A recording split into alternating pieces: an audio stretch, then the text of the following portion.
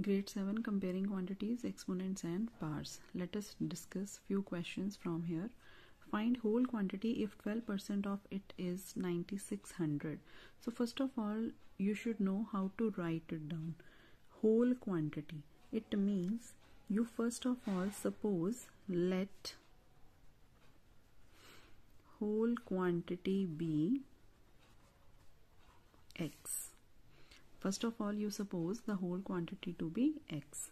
Now, if 12% of it, it means 12% of it, it means whole quantity that is 9600. So this will be the equation according to our question. This will be the equation. Let us see again. एक बार दोबारा देखते हैं 12% of it it क्या है whole quantity तो whole quantity हमने ली है x so it means twelve percent of x is ninety six hundred so let us solve it इसे सॉल्व कर लेते हैं. ट्वेल्व परसेंट परसेंट का साइन रिमूव करो. डिनोमिनेटर में आएगा हंड्रेड ऑफ़ का साइन रिमूव करो. Multiply x is equal to ninety अब एक्स की वैल्यू निकालनी है. But you have to do hundred इधर क्रॉस मल्टीप्लाई हो जाएगा ऊपर और ट्वेल्व नीचे डिवाइड हो जाएगा। So you will get x as ninety six hundred divided by twelve into hundred so twelve के टेबल से कैंसिल करो। ट्वेल्व एट जार नाइन्टी सिक्स ट्वेल्व ज़ीरो जार twelve zero jar zero it means our answer will be eight hundred into thousand तो x की value क्या आ जाएगी? 1 2 3 4 80000 so whole quantity is 80000 next is express 343 and multiply by 625 using exponential form. So first of all we need to solve it out 343 as well as 625 so 343 let us find its factors. We know 343 is divisible on the table of 7 7 4s are 28 7 9s are 63 again 7 7s are 41 7 1s are 7 same way we will find out the factors of 625 it is divisible by 5 5 ones are 5 5 2s are 10 5 5s are 25 again it is divisible by 5 5 2s are 10 5 5s are 25 again 5 5s are 25 and last is 5 ones are 5 so we need to find it out till we are getting 1 at the end. Now, अब इसको express करना है as exponential form so we will write it down as 343 into six twenty five is equal to seven कितनी बार आ रहा है? One two three तो it can be return as seven raise to power three और five कितनी बार आ रहा है? वन टू थ्री फोर तो 5 raised to power 4. So this is a way to express in the form of exponent. Next is standard form of 78548.95 is. Standard form के लिए क्या चाहिए स्टैंडर्ड फॉर्म के लिए जो भी नंबर है that should lie between zero and ten zero और टेन के बीच में लाई करना चाहिए टेन से छोटा होना चाहिए and multiply by ten raise to the power अब यहाँ पे डेसिमल है बाद में.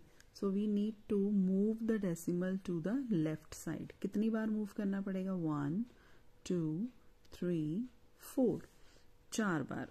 It means this number will come out to be seven point eight five four eight nine five first of all we move the decimal to the left side कितनी बार move किया? One two three four यहाँ पे stop क्योंकि seven point आएगा, ठीक है? अब जितनी बार मूव किया है, उतनी ही टेन की पार लग जाएगी। वन टू थ्री फोर चार बार मूव किया है so it will be ten raise to power four this will be the easiest one to find out the standard form next is an article sold for rupees eighty eight hundred with profit of five percent find the cost price of the article तो हमें given है selling price that is rupees eighty eight hundred profit is given that is five percent we need to find out the cost price for this we can directly apply the formula CP is equal to S P multiply by hundred divided by hundred plus P percent put it in the bracket bracket में क्यों रखा है? इसका एक कारण है whenever we are putting the values यहाँ पे जब हम वैल्यूज़ लगाएँगे, ये आएगा हंड्रेड प्लस फाइव तो कुछ बच्चे क्या करते हैं, ये हंड्रेड को इस हंड्रेड से काट देते हैं. That is wrong completely wrong बिल्कुल गलत है. इसे ब्रैकेट में रखिए, ठीक है? इसे बिल्कुल काटना नहीं है. ये मल्टीप्लाई में है, लेकिन ये ऐड हो रहा है तो ये नहीं कटेगा. तो इसे सॉल्व करेंगे हम.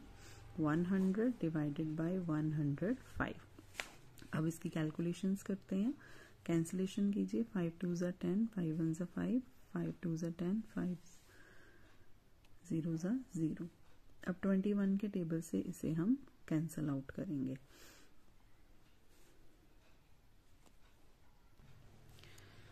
तो मल्टीप्लाई करते हैं न्यूमिरेटर्स को। न्यूमिरेटर विल बी मल्टीप्लाइड तो we will get one seven six one two three zeros will be there divided by twenty one तो 21 से डिवाइड करने पे we will get here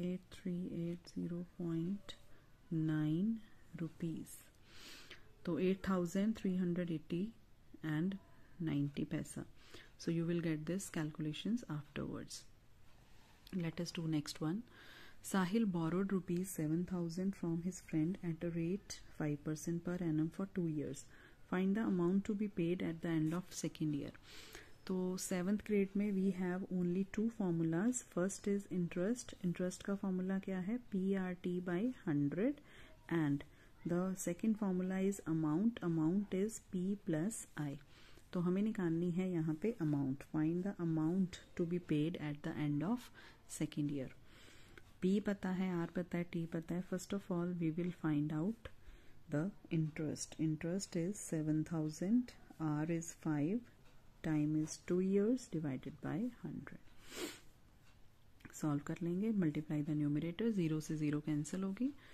five two ज़ा ten ten seven ten seven ज़ा seventy और साथ में ज़ीरो लगी seven hundred so this will be your interest interest निकल आया now we will find out the amount amount will be principal that is seven thousand plus seven hundred so amount will be seven thousand seven hundred rupees I hope this is clear to you all तो ये for दो ही formulas हैं I and A in your syllabus. I hope you understand all these questions. If you feel any doubt, you can ask me. Thank you so much.